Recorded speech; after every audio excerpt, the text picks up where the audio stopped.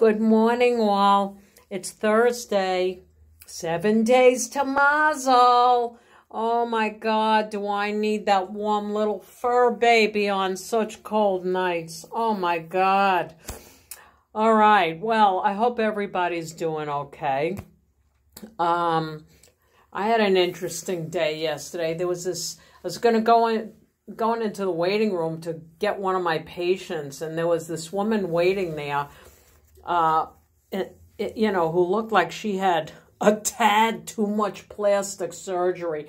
Thank God I didn't have to touch her face. I'll tell you something. You know, it gets to the point where it's it's almost like these plastic surgeons should be sued just just for doing what a patient wants, you know? It's like like Michael Jackson's plastic surgeon, you know, God knows what kind of freak they made him look like.